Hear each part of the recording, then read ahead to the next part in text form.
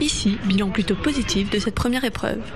Au début, enfin beaucoup de stress, mais bon, euh, après, euh, une fois qu'on a lu le sujet, qu'on s'est posé, euh, Ouais, vraiment, c'est ça allait un quoi. contrôle normal en fait. Ouais, en vrai, c'est vraiment comme un le contrôle stress, normal, et du coup, voilà. Pour moi, ça s'est bien passé. Il y avait euh, le paragraphe, des questions. euh, ça parlait de Martin Luther King, la parole en, pla- en spectacle et euh, tout ça quoi.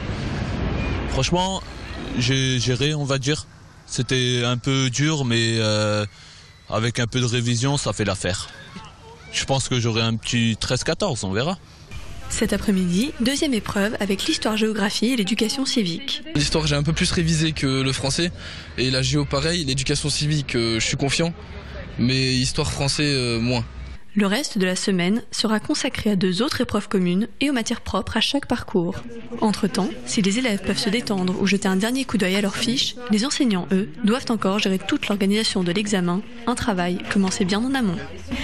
Depuis euh, fin mai, nous sommes en train de préparer euh, les examens, de voir les sujets, si nous avons tous les sujets, de préparer la répartition des candidats dans les salles. Alors on vérifiait que, toutes, euh, que tous les paquets de copies rentraient au complet avec toutes les, tous les documents qui devaient être ramenés. Bah là, on est un petit peu dans l'urgence quand tout rentre en même temps. Donc la, première vérification est bonne. Après, on va regarder plus en détail.